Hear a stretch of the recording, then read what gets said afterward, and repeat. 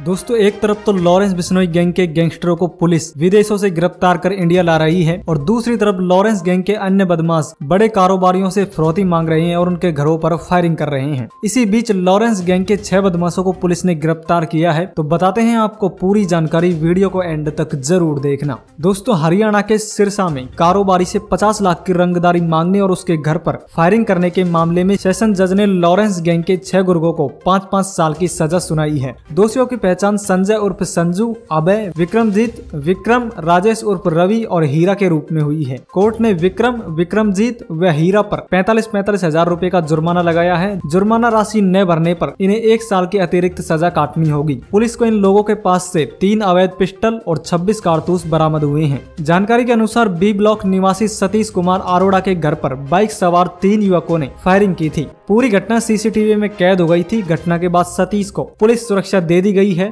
इस मामले में शहर थाना पुलिस ने केस दर्ज कर लिया है। दोस्तों, पुलिस को दी शिकायत में सतीश अरोड़ा ने बताया कि 6 फरवरी को उसके मोबाइल पर एक कॉल आई थी। कॉल करने वाले ने अपने आप को गैंगस्टर गोल्डी बराड़ व लॉरेंस गैंग के शूटर्स बताया। उसने कहा कि 50 लाख रुपए का इंतज़ाम कर ले, वरना तुझे और तेरे परिवार को खत्म कर देंगे। इससे पहले पाँच फरवरी को तेरे घर पर चंडीगढ़िया मोहल्ला निवासी संजय और राजेश स्वामी व विक्की नैन को भेजा गया था। ये तो बस ट्रेलर था। अगर जान प्यारी है तो पचास लाख रुपए का इंतज़ाम कर लेना। पुलिस ने इस मामले की जाँच करते हुए इन तीनों को हिरासत में ले लिया है। इन तीनों बदमाशों से पूछताछ में पता चला है कि आरोपी गैंगस्टर गोल्डी बराड़ और लॉरेंस बिश्नोई के संपर्क में थे। और गैंगस्टर लॉरेंस बिश्नोई और गोल्डी बराड़ के कहने पर ही इन बदमाशों ने सतीश नाम के युवक से 50 लाख रुपए की रंगदारी मांगी थी। लेकिन इस बीच मौके पर पुलिस को सूचना दे दी गई थी। इसके बाद पुलिस ने इन आरोपियों को गिरफ़्तार कर लिया है और आगे की पूछताछ जारी है और कुछ इस मामले में खबर निकलकर सामने आती है तो हम आपको ज़रूर बताएँगे। तो दोस्तों आप क्या सोचते हो लॉरेंस गैंग के इन अपराधियों को लेकर कॉमेंट सेक्शन में अपनी राय ज़रूर दें।